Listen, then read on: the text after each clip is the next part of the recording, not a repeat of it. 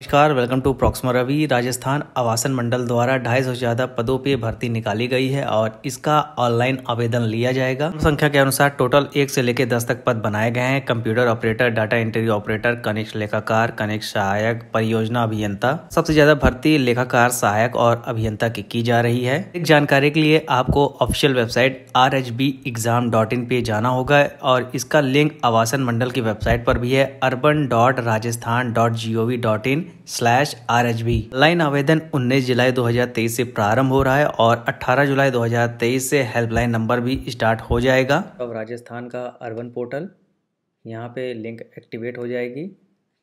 और चलते हैं एक और वेबसाइट जिसके बारे में बताया गया ये है R H B exam dot in की ऑफिसल वेबसाइट। यहाँ पे साफ़ साफ़ दिया गया है कि कब से आपको ऑनलाइन एप्लीकेशन फॉर्म भरना होगा 19 जुलाई से। और 18 अगस्त से यहाँ पे केवल यही लिंक इतनी दिखाई दे रही है।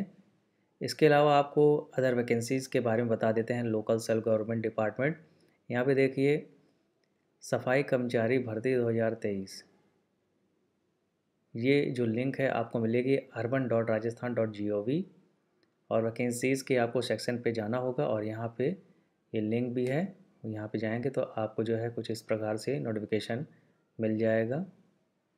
राजस्थान की सफ़ाई कर्मी भर्ती।